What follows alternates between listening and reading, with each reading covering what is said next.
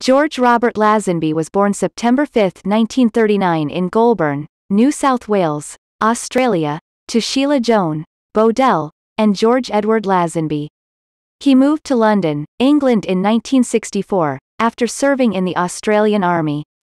Before becoming an actor, he worked as an auto mechanic, used car salesman, prestige car salesman, and as a male model, in London, England.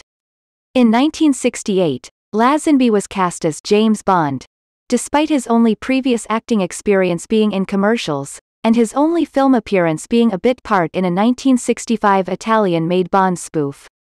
Lazenby won the role based on a screen test fight scene, the strength of his interviews, fight skills and audition footage.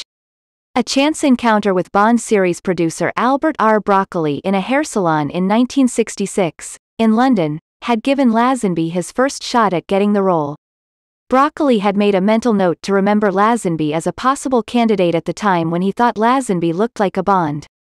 The lengths Lazenby went to to get the role included spending his last pounds on acquiring a tailor-made suit from Sean Connery's tailor, which was originally made for Connery, along with purchasing a very Bondish-looking Rolex watch.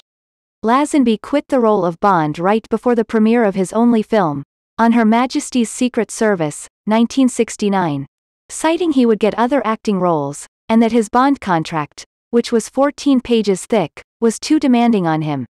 In his post-Bond career, Lazenby has acted in TV movies, commercials, various recurring roles in TV series, the film series, Emmanuelle, several Bond movie spoofs, TV guest appearances, provided voice for several animated movies and series, and several Hong Kong action films, using his martial arts expertise.